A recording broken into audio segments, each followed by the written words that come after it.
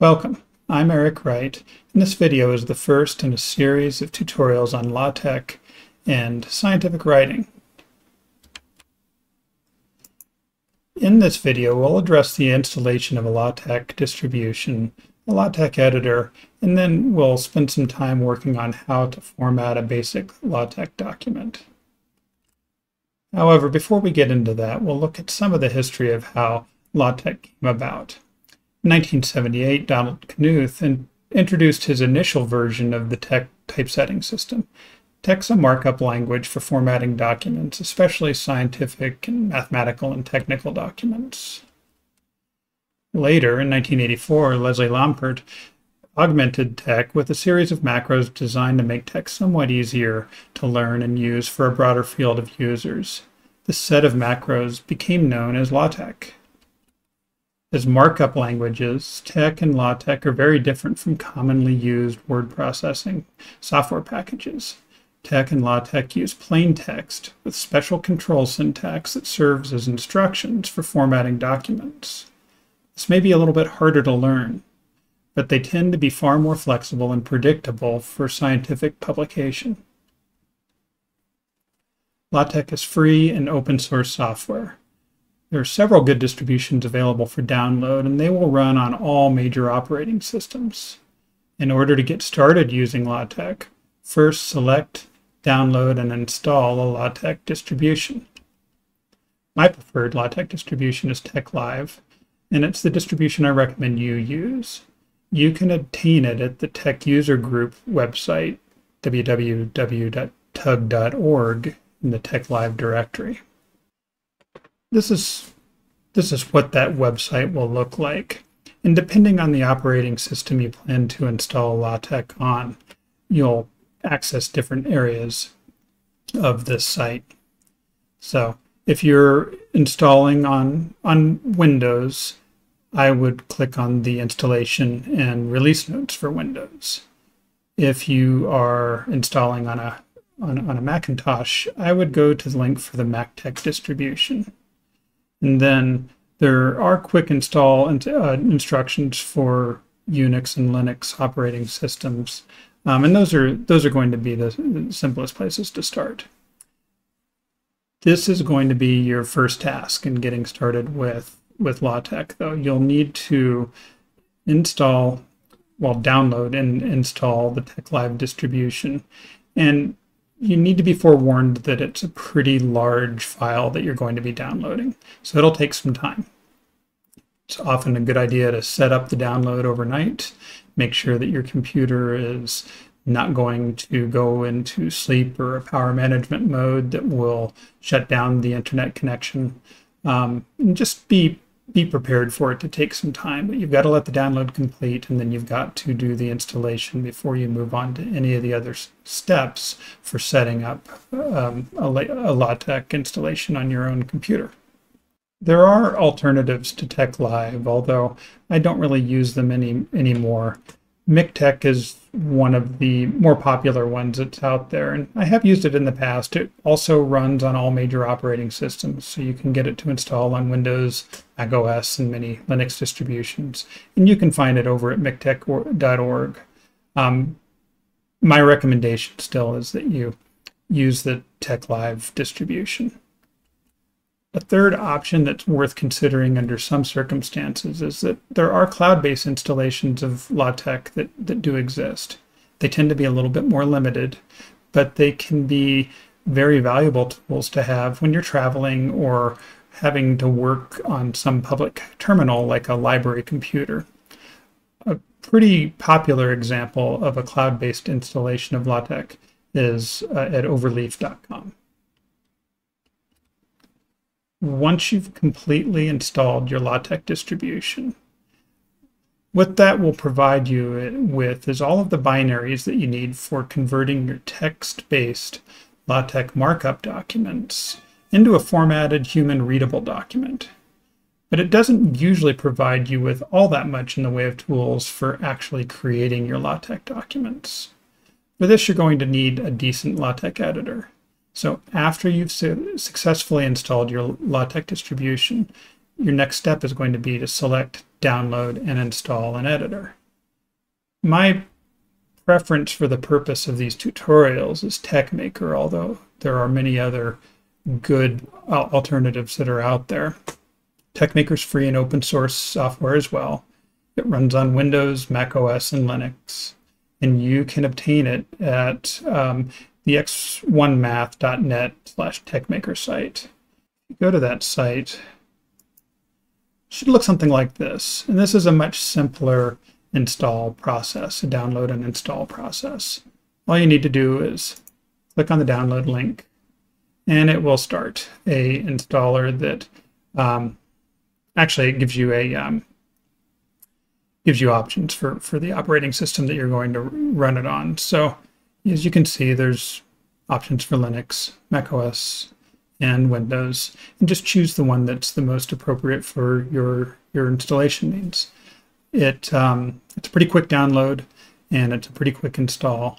Just make sure that you've already installed your LaTeX distribution before you try to install the editor. Because if you don't, the editor won't be able to find those LaTeX binaries that are designed to convert your, your markup documents into the human readable formatted documents. If you try TeXmaker and don't like it, not a big deal. There's many other options. Some are commercial and some are free. You just have to search the web until you find an editor that you like. But you do need a, a decent editor that's well suited to working with LaTeX documents. So find one that you think you're going to like and stick with it and learn learn it for a while. And it's really going to be all you need.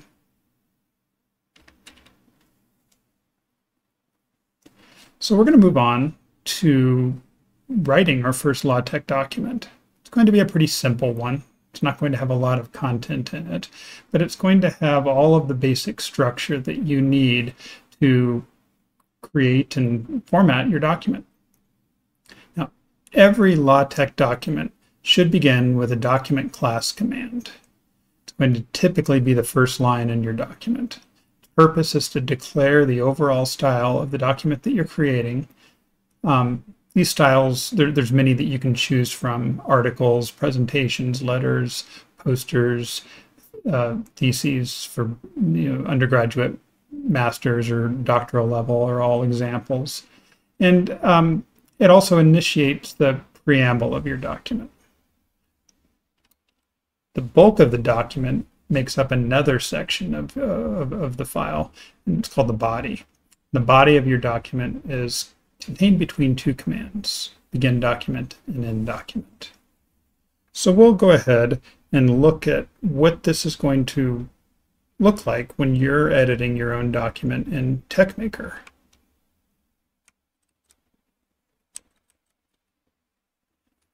So this is what a typical, up to maybe some some color and stylistic changes. This is what a typical TeXmaker uh, installation is going to look like on your computer. On most of the left side here is where the actual markup document, the TeX document is. And I've already done some editing in it. But if you were starting fresh, you wouldn't have a document on this screen. You'd want to go over to the File menu app select new, and this gives you an area that you can start typing. And so just to get a sense of, we'll, we'll move back to the document that I was working from in a minute, but just to get a sense of how this would work, you would just start typing those, those two basic pieces that must exist in any LaTeX document. You'll have your document class statement. And you'll notice that it begins with a, a slash and then document class is an example of a command in LaTeX. And all commands typically accept an input argument, and that's going to be contained in curly braces. And the input argument for document class is the name of the class that you're using to define your document's style. For the time being, we're just going to use article. That's one of the common ones that's used for writing scientific articles. Once you've typed in that, that command, you can move down and set up the body of the document. And if you remember from our slide, that's done with the begin and end document command.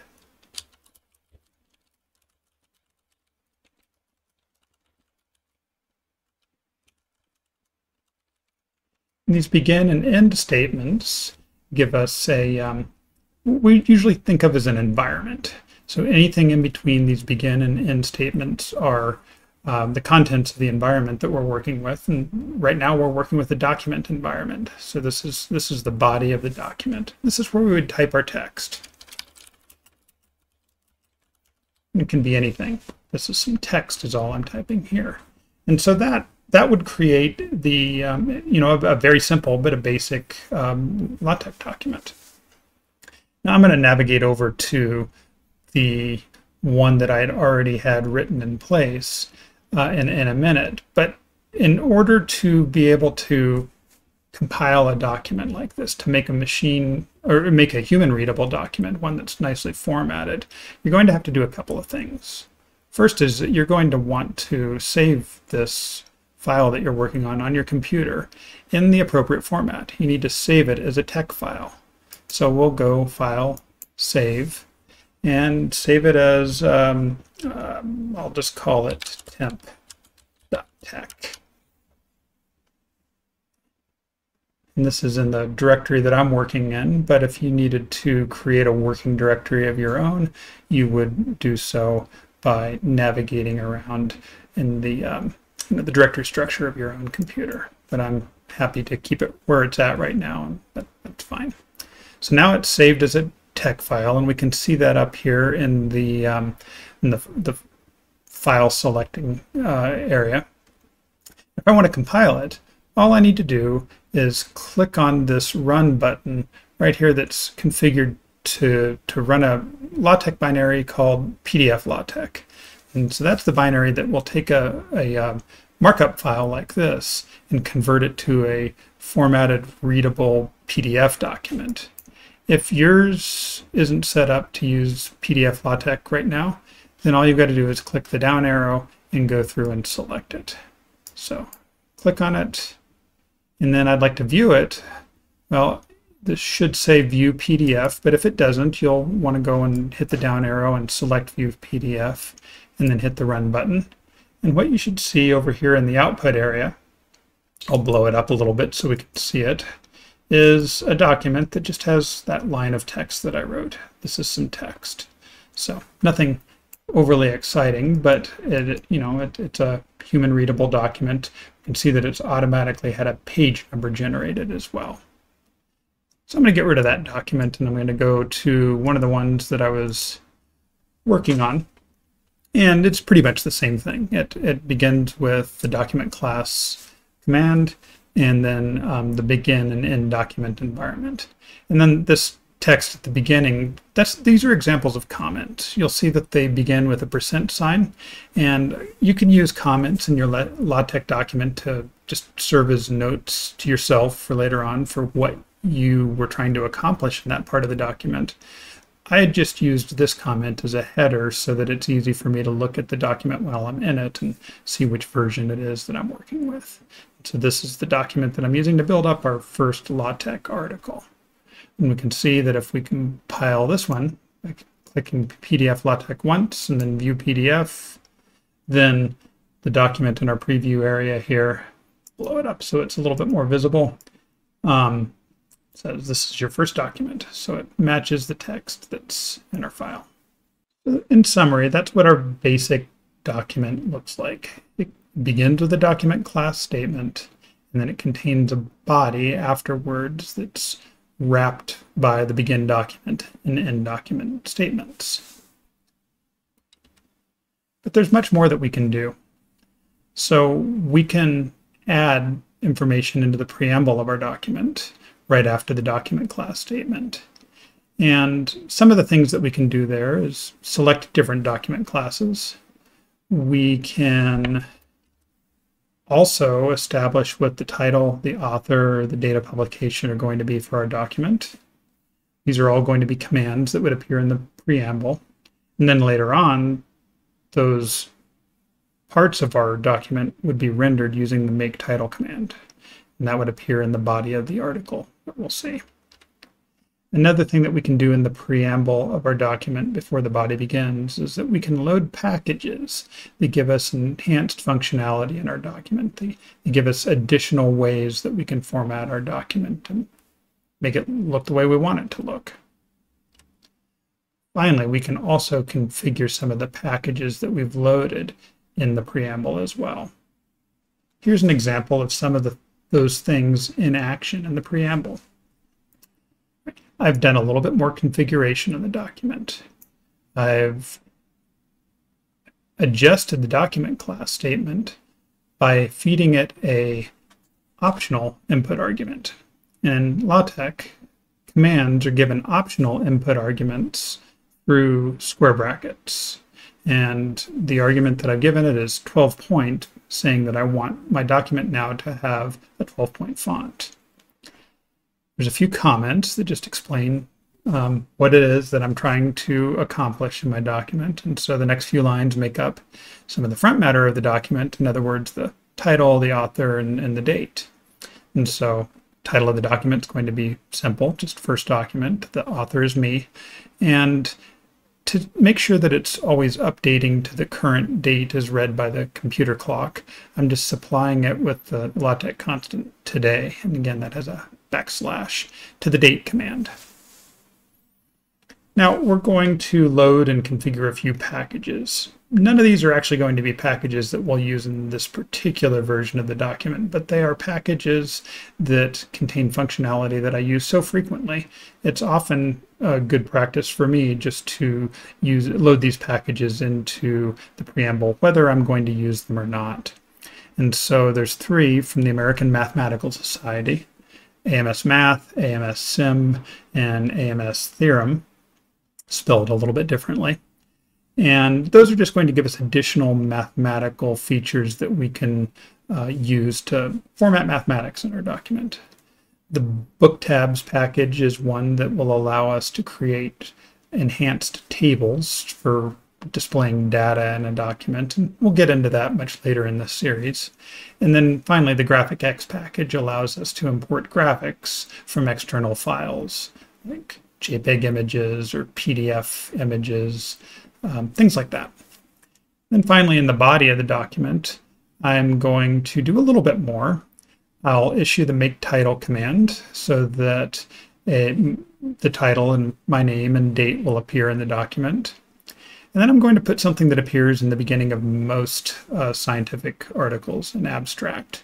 And an abstract should just be a self-contained, almost like an advertisement for your article that makes a case for why um, your article should be interesting to your intended audience.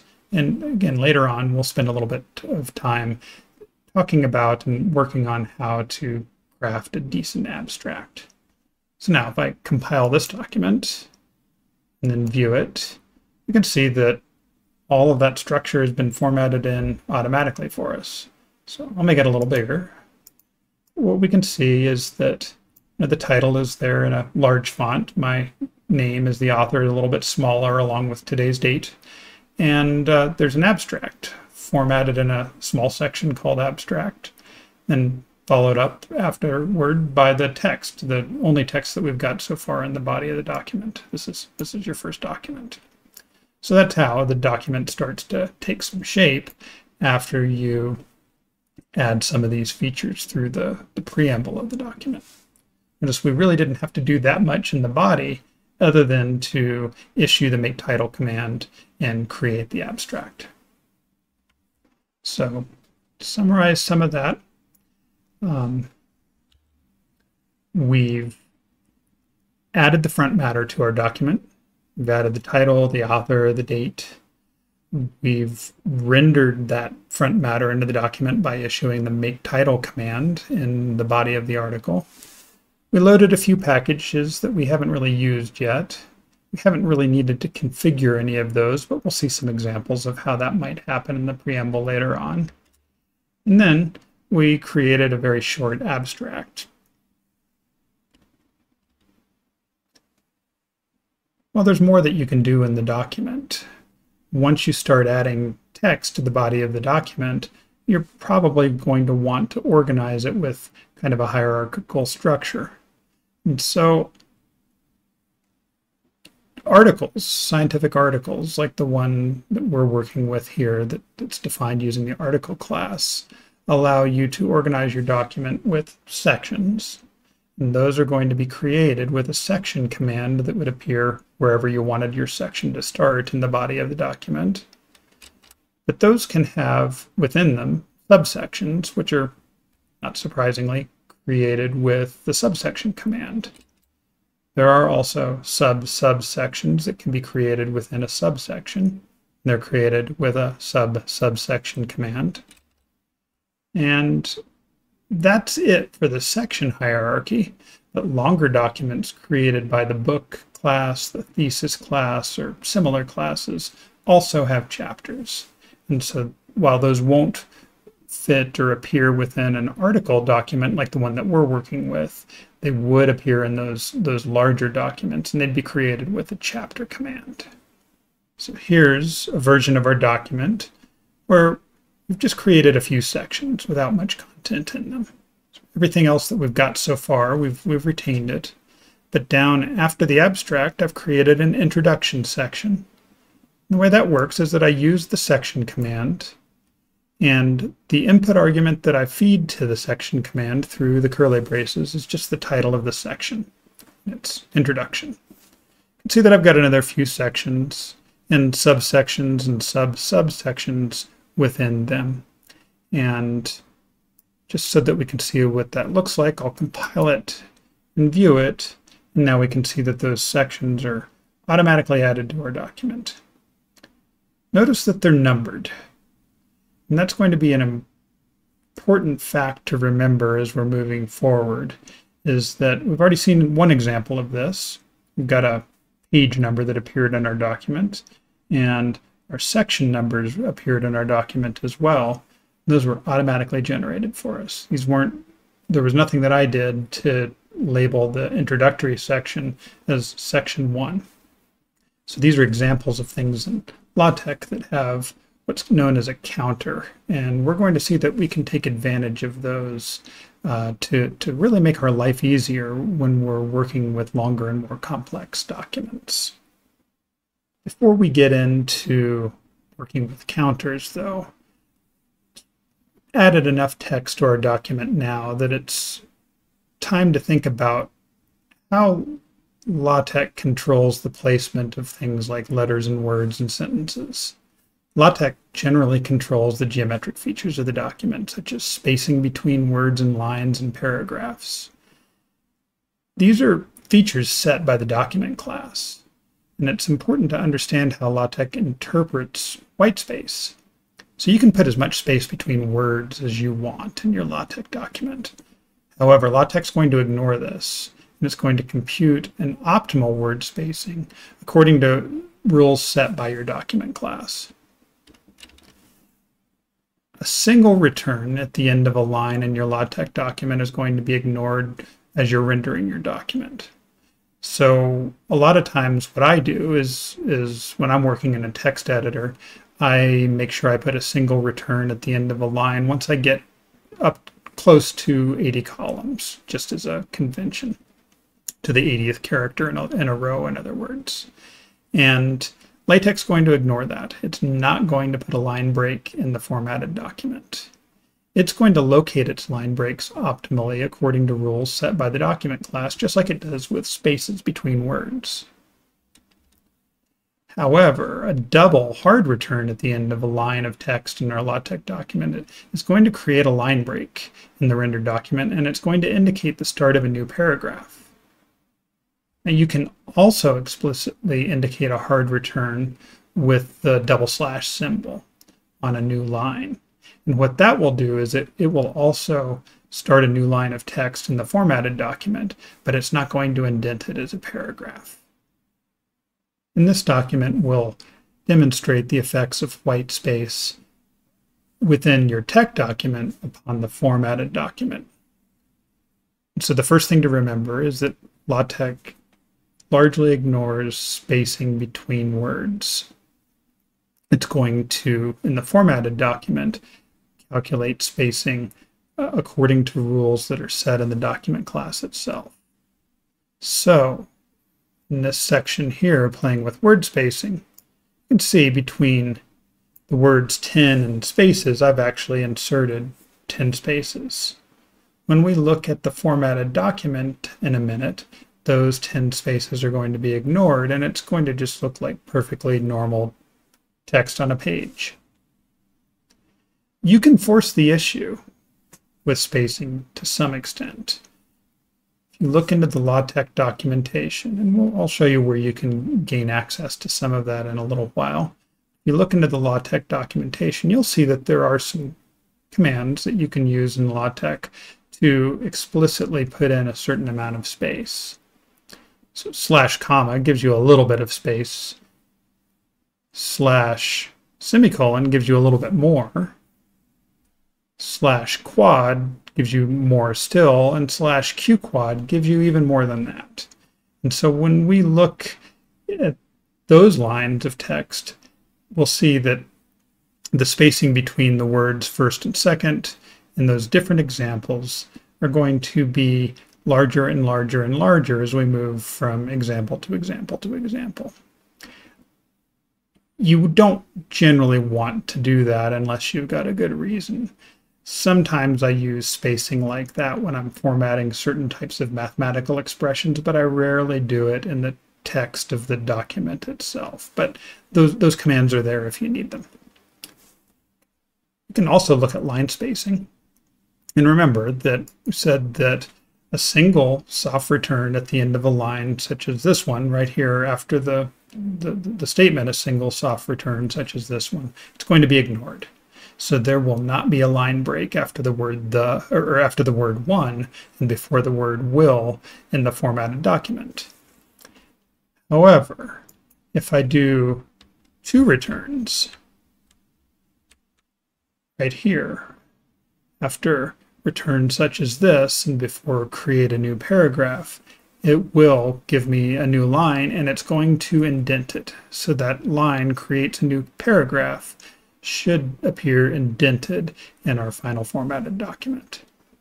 And then finally, the double slash will create a new line. So explicit will begin on a new line of its own and it won't be indented. So let's compile that and just verify that that behavior is what happened. So I've compiled it. I'm going to view it. Now we'll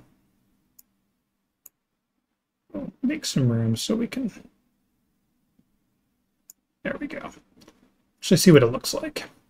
All right, so between 10 and spaces, we see there's just an ordinary space. There weren't the 10 spaces that I typed. Here's those examples of first and second where there was a comma, semicolon. Let's see, where was it? This was an ordinary space, yeah, between this first and second. This was a slash comma. This was a slash semicolon. This was a slash quad. This was a slash Q quad. And we can see how those all compare to the natural spacing. Sometimes the difference is subtle, but it's there. And, you know, if you use quad and Q quad, it often is going to look odd in ordinary text. And that's why I recommend just really letting LaTeX do the word spacing the way it's, it's designed to.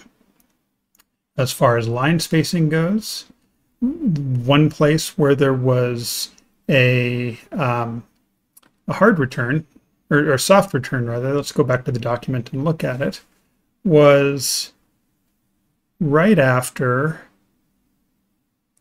single soft return such as this one, right at the beginning of that section playing with line spacing. So let's go look at that. Playing with line spacing, a single soft return such as this one, and see it doesn't return. It ignores that single soft return. So you can use those soft returns just to make your TeX document more readable as you're editing it without having any influence over your formatted document. Now, where I got my hard return with the paragraph indent, indent was after return such as this and before creates. That was a double return that I typed in, and that's what gives me a new line with a paragraph indent. And then down here, another option is to use the slash slash explicit hard return. That gave me a hard return, but no paragraph indent. So those are the ways to play a little bit with line spacing. Now there are other ways. There's there's things that you can do to your document to force it to have um, more spacing between lines uh, uniformly throughout the document. There's places to do it locally, and as we need those, we'll probably introduce them later on. But for the time being, as you're learning, it's best to really just let LaTeX manage word and line spacing according to the rules that are set within the document class and not worry about it too much yourself. We're finally ready to spend some time looking at how LaTeX manages these automatically numbered elements in our document. We've already encountered numbered elements in our, our documents, things like sections, subsections, sub-sub subsections, chapters, even pages. They're automatically numbered. And as we gain familiarity with LaTeX, we're going to encounter many more document elements that are automatically numbered. It's possible to control how these elements are numbered to some degree. We're not going to get into overriding the numbering right now, but it is possible to do it. What's more important is um, we can suppress the numbering if we want to. So some numbered elements can have their counters suppressed, and this is done generally speaking with an asterisk notation. So if we use section asterisk instead of slash section, then that's going to give you a new section in your document, but it's not going to have a number on it. And the same falls for subsection and subsubsection. we'll see that there are other analogous examples for other structural elements within a document. It's also possible, and this is really the big thing to keep in mind about numbered elements in a LaTeX document. It's also possible to assign a descriptive label to a numbered element and refer to that label with a reference elsewhere in your document. This is huge. What it does for you is that it relieves you of the responsibility of having to make sure all of your references to numbered elements and the numbered elements themselves are synchronized. If you had to do that by hand as you're editing and re-editing and revising a document, then it can really get overwhelming fast. And so it's possible within LaTeX to automate that process and cause it to keep track of that synchronization for you. So here we are in our document. There's a few things that have happened here. First of all, at the end, we can just see that I've included a few unnumbered sections and subsections. I've done that with the asterisk notation. We'll see that when we compile this document, those are just going to give us some new sections at the end with the same bold headings that we've seen for sections and subsections already, but they're not going to have a numerical label on them. So we'll look for that once we compile this what's more important for us to really get straight here is the use of the label and the ref commands in LaTeX to attach a label to a numbered element and then later to refer to it in the document. So I here I'm attaching a descriptive label to the introduction section. And right after I've initiated that section, I use the slash label command, and then I give it a label of my choosing. So I'm going to suggest that you don't use numerical labels, use descriptive ones. And then I follow a naming convention in my own documents. So for sections and subsections and those sort of organizational structural elements like those, I use S colon at the beginning of my descriptive label. And then I give it a word or two for whatever section or subsection it is that I'm referring to. So the label for my introduction section is S colon introduction. It could be anything, but you want it to be something that you're going to remember and something that's going to be meaningfully connected to the numbered element, in this case, the introduction section, that you're trying to attach a label to. You'll see that I've done this on other elements as well. I've added a S word space label to the section I'm playing with word spacing, uh, an S line space label in the section uh, for playing with line spacing, and so on. Now, somewhere in this document, down here under a new section that I've called Labels and References, I've referred to those earlier sections using the reference command. So right here we can see where I'm typing section slash ref s introduction is our introduction. What's happening here is that the ref command looks for a label within the document that has this name, S introduction, goes back to the to the um, element that has that label attached to it, finds its current value in the counter that's attached to that section. So what it's going to look up the section number basically, and this in our formatted document slash ref S introduction is going to be replaced with that numerical value. In our case, it should be 1. Section 1 is our introduction. We'll see that I've, I've done this with the other sections that I've labeled as well. I've referred to section ref s word space and section ref s line space. And those are going to be replaced with numbers in the formatted document. So let's see that. Let's compile our document and then run it. And I look,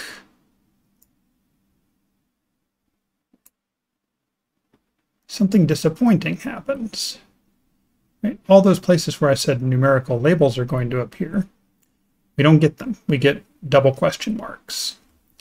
Well, what's happened is that once you start introducing labels and references in your document, you need to compile your document twice in order to get the labels and references synchronized. So you need to get into the habit of running PDF LaTeX twice before viewing it. And then when you view it, those section and subsection numbers get updated. So we have section 1 as our introduction. Section 2.1 addresses word spacing, or should have said subsection 2.1 addresses word spacing and section 3 addresses line spacing. The last thing to notice here is our unnumbered sections. These were the sections that we created using the slash section asterisks and slash subsection asterisks commands. And all that the asterisk does is it suppresses the counter. It turns it off for those sections and they just don't get numerical labels. You know, sometimes there's good reasons to do that. Um, I don't do it that much, but it's an option that's there if you need it. That brings us to the end of our first LaTeX tutorial. So if you practice the document writing skills in this tutorial, you ought to get to the point where you can write and structure a pretty simple LaTeX document. It's not going to have a lot of features in it, but it, it's going to be one that will have a title, your name as an author, a date, an abstract, some sections, and some text included in those sections. You should try to play around with labels and references so that you can refer to the sections and subsections and other numbered elements by their, their um, correct synchronized numerical label rather than one that you try to hard code.